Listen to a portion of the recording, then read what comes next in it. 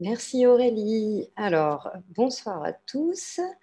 Donc, pour cette nuit du solstice de Dardenne d'Histoire, euh, sur le thème de l'ombre et de la lumière, euh, comme vous le savez, moi, je m'occupe plus principalement du Moyen Âge. Alors, j'aurais évidemment pu euh, choisir de vous parler du Moyen Âge, des sorcières ou de ce genre de choses, mais euh, j'ai choisi de vous parler euh, pas de l'ombre, mais de la lumière et de la lumière qui passe dans les bâtiments. Alors pour pouvoir vous parler de la lumière qui passe dans les bâtiments, on va euh, se plonger à l'époque gothique, donc à partir du XIIe siècle, du milieu du XIIe siècle, et parler de cette transformation de l'architecture qui vise justement à faire entrer la lumière dans les bâtiments. mais pas n'importe quelle lumière, la lumière qui doit entrer à l'intérieur de l'Église à partir de ce milieu du XIIe siècle et de l'action d'un abbé qui est à Saint-Denis et qui s'appelle Sujet. Cette lumière, euh, elle est en fait la manifestation de la divinité à l'intérieur de l'édifice. Et cette divinité, elle parle en couleur. Alors cette lumière, euh, cette lux mirabilis et lux continua, euh, comme on le trouve dans les textes de sujet, cette lumière doit être continue et euh, doit être en couleur. Et c'est un élément euh, qui va euh, particulièrement bien se prêter à cela à l'intérieur des ouvertures qui sont permises grâce à l'utilisation nouvelle qu'on va faire de la voûte sur croisée d'ogive. Cet élément, c'est le vitrail. Alors le vitrail, il y en a avant, mais qui n'est pas forcément un vitrail figuratif. Et c'est vraiment l'arrivée de l'architecture gothique qui va permettre donc d'utiliser des grandes verrières et de peindre, euh, en verre et de peindre avec la lumière, euh, ce qu'on ne pouvait pas faire évidemment sur les murs. Alors pour vous parler euh, de ces vitraux gothiques, je vais insister sur deux vitraux en particulier et sur une couleur qui est la couleur emblématique de ces vitraux de l'architecture gothique. Cette couleur, c'est la couleur qui est la plus difficile à obtenir dans le monde naturel, c'est le bleu. Et c'est le bleu qui va être euh, emblématique donc euh, de cette architecture, le bleu qu'on appelle de Chartres, et un peu à, faussement d'ailleurs parce qu'il est plutôt né à Saint-Denis, hein, mais qu'on le retrouve massivement dans les vitraux médiévaux qui sont conservés à la cathédrale de Chartres. Alors celui qu'on va voir euh, aujourd'hui, c'est le vitrail euh, qui se trouve à l'entrée de... Euh, non, pardon, c'est celui qui se trouve dans une chapelle dans le chœur et c'est une verrière qu'on appelle Notre-Dame de la Belle Verrière. Alors c'est un des vitraux les plus intéressants de la cathédrale de Chartres parce que c'est un des premiers vitraux dont les parties les plus anciennes sont datées des années 1135 et qui a donc survécu à l'incendie de 1194 et qui devait se trouver au départ dans une chapelle de la Vierge.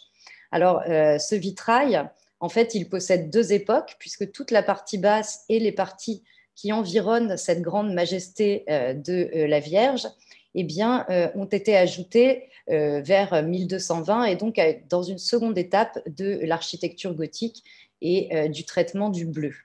On le voit très bien d'ailleurs si on s'approche de cette grande Vierge à l'enfant euh, avec un enfant encore très, euh, très presque mini-adulte posé, présenté devant par la Vierge.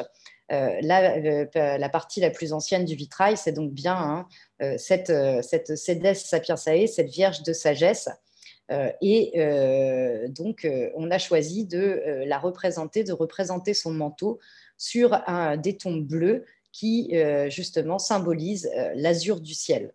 Alors, euh, au-dessus de la Vierge à l'enfant, hein, qui est, sur avec laquelle le bleu contraste très très fort grâce au fond rouge, vous voyez aussi hein, cette colombe du Saint-Esprit hein, qui ressemble, alors qui est très stylisée. on pourrait presque se rappeler le, le, poulet de notre Gonzague de tout à l'heure, mais non, c'est bien la colombe du Saint-Esprit qui est là. Et euh, donc, ce manteau bleu de la Vierge qui aujourd'hui tire euh, légèrement, hein, suivant la lumière, sur le violet. Alors ça, c'est fait parce que euh, ce bleu donc est impossible à obtenir avec des éléments des éléments naturels et il est impossible avec du végétal d'obtenir le bleu qui teinterait le vert dans la masse. Donc, pour obtenir ce bleu, on est obligé, euh, dans les années 1130, 1140, d'aller chercher vers des pierres précieuses.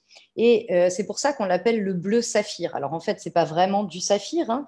c'est euh, plutôt des oxydes, des oxydes métalliques, hein, du cobalt qui vient de Russie et qui font que ces, fonds, ces, ces, éléments bleus sont vraiment très, très, très, très, très coûteux et euh, font partie, euh, montrent à quel point le, vitrail qui habille la fenêtre est presque plus important pour cette époque que les murs eux-mêmes, qui est quelque chose que nous, on a un peu de mal à comprendre quand aujourd'hui on va dans une cathédrale qui le plus souvent est privée de ses vitraux et en particulier de ses vitraux médiévaux.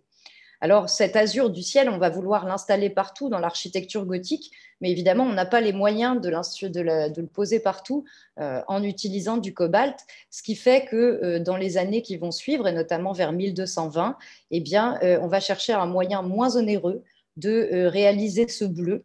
Et on va désormais utiliser de la manganèse, qui est un peu plus courant et qui surtout ne donne pas tout à fait le même effet et qui donc va obtenir un bleu gothique beaucoup plus sombre et tirant sur l'outre-mer, qui permet ici à Chartres de voir les deux époques du vitrail mises ensemble. C'est le bleu hein, désormais qui va pouvoir dominer mais cette lumière, c'est ce que vraiment qui va sous-tendre toutes les recherches architectoniques de la période. Et au milieu du XIIIe siècle, euh, l'impression de lumière va, être atteinte, euh, va atteindre son apogée avec la réalisation de la Sainte-Chapelle du Palais de la Cité entre, euh, dans les années 1240. Elle est terminée en 1248. on parle pour cet édifice de cage de verre. On a à peu près 600 mètres carrés de vitraux, sans compter la rose de façade qui a été refaite au XVe siècle. Et euh, ici, je vous montre donc euh, cette euh, abside. plus le temps avance, plus on, va, avoir dans les vitraux une gamme chromatique qui va se développer, sortir un peu des bleus et rouges. et ici, on voit hein, des tons violets, des tons verts qui sortent de cette grande cage de verre. Alors l'autre grande nouveauté hein, de la Sainte-Chapelle, c'est que c'est le premier édifice à l'intérieur duquel on va peindre en lumière et en couleur les événements euh, qui sont les événements contemporains. C'est la première fois que euh, on va représenter quelque chose exactement au moment où euh, ça se passe. Et c'est dans la dernière verrière de la Sainte-Chapelle, la verrière dite des reliques, qui raconte l'histoire des reliques qui ont amené la création de l'édifice. Et euh, tout en haut de cette verrière des reliques, on trouve la représentation de euh, celui qui a payé l'édifice, c'est-à-dire le roi Louis IX, pas encore saint, euh, qui va lui-même transporter cette relique de la couronne d'épines lorsqu'il va l'accueillir à Sens. Et cette relique de la couronne d'épines, il va la porter avec son frère, avec son fils héritier. Et on a donc ici presque un, déjà hein, un reportage en, lumière et en couleur euh, de, euh, de l'actualité euh, du moment. Et ça va lancer, hein, entre guillemets, quelque chose de très nouveau, une nouvelle mode, la, nouveauté des, des de représenter donc des, des, événements contemporains à l'intérieur des édifices sacrés. Alors évidemment, Louis IX est un, est un roi et peut donc se permettre de lancer ce genre, ce genre de mode, mais qui, au fil des siècles, passeront donc, passeront donc dans des représentations qui seront faites aussi par les élites et puis petit à petit qui descendront l'échelle jusqu'à ce qu'on trouve des représentations d'événements en train de se produire. Alors, euh, ce vitrail euh, euh, du transport des reliques, il a tellement marqué qu'on en retrouve dans d'autres édifices et en particulier dans d'autres cathédrales. On, le retrouve par exemple à la cathédrale de Tours. Et cet élément de verrière qui est aujourd'hui complètement détaché de euh, son élément d'origine eh bien, euh, est conservé dans un musée new-yorkais, mais à l'avantage, euh, comparé à la verrière de la Sainte-Chapelle que je vous montrais juste avant, de ne pas avoir été restauré et donc de présenter le visage du Saint-Roi presque de son vivant, hein, donc au moment de cette translation des reliques. Et vous voyez hein, donc comment le verre et la lumière qui doit passer à travers le verre et le chatoiement hein, de, ces couleurs est faite pour fonctionner euh, donc dans l'ombre et la lumière et comment ces, édifices gothiques euh, sont donc faits pour, pour y laisser passer la lumière. Voilà, alors comme ce soir à d'arrêt d'histoire, nous sommes un tout petit peu en retard sur notre planning, je vais me dépêcher de passer la main à Sylvie et je vais tous vous laisser et vous souhaiter une belle nuit du solstice.